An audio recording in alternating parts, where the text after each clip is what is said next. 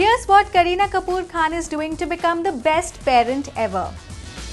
Kareena is totally rocking motherhood. The Begum of Bollywood is busy with magazine shoots, brand and commercial shoots and will soon start shooting for Sonam Kapoor's Veere wedding.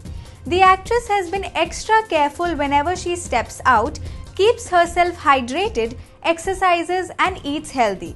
But that's not it. Besides all of this, Kareena has also been taking time out to plan the interior of her new house.